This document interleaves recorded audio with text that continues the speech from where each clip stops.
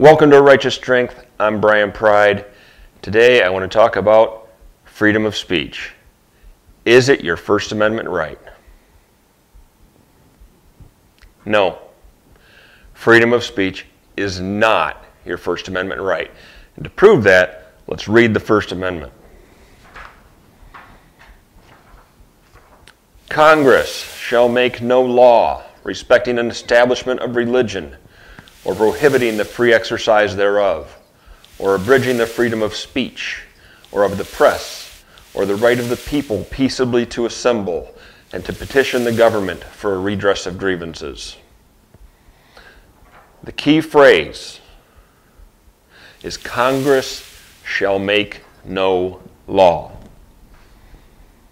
It does not say Congress hereby grants these rights religion, speech, press, assembly to the people. Freedom of speech is not your First Amendment right, it is your natural God given right. The First Amendment simply binds the government from interfering with that. So I hope that makes it clear that you do not get your rights from the First Amendment. It just keeps the government from screwing around with them. So when YouTube and Facebook and Twitter and everybody else take down people whose politics they don't agree with, they are not interfering with your First Amendment rights. They are private companies. They are not the government. You do not have a right to post on their platform.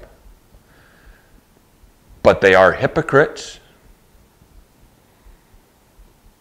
and their designation should be changed because they portrayed themselves and have presented themselves and testified about themselves that they are platforms for free speech. A platform is like the phone company where you pick up the phone, you dial, you have a conversation, and the phone company has nothing to say about what goes on.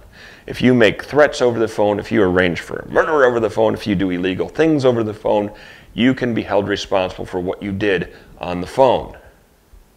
But the phone company can't because it's just a platform, it's a means of communication. That's what these social media companies said they were going to be platforms.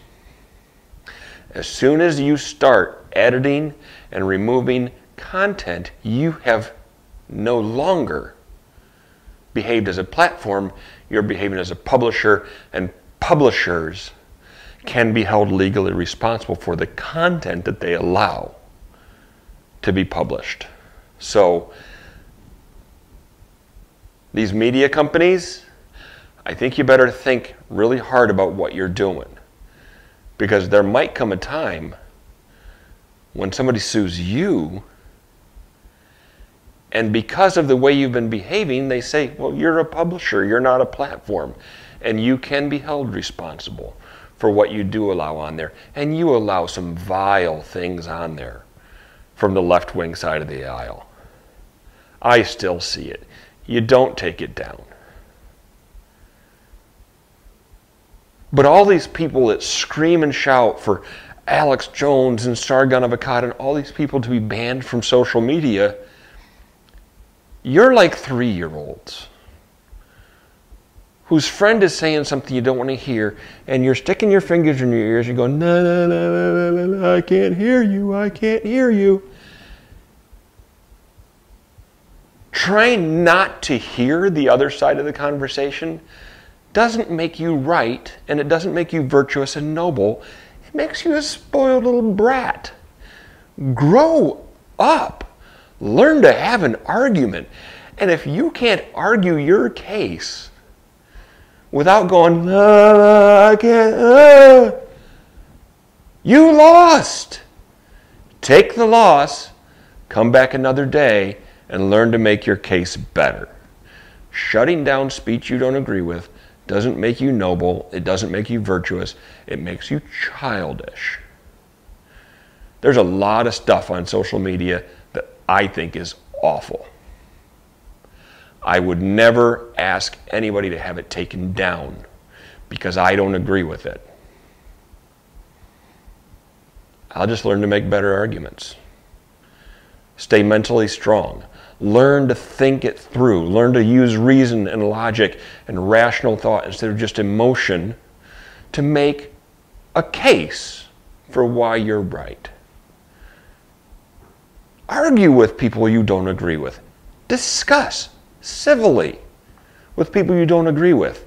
It keeps you strong up here. And to keep this strong, I got to lift some weights.